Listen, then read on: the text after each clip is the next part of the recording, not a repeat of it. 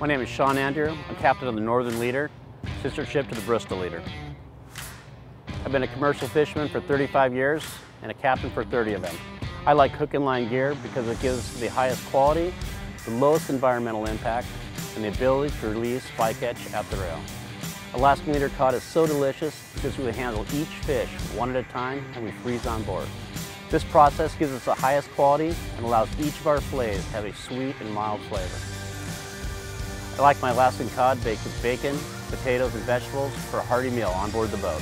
You can also pan-sear it with light seasoning or marinate it with a lemon or butter sauce. And of course, I love classic Alaskan fish and chips. Stop by your local Hy-Vee to pick up wild Alaska cod in the seafood department.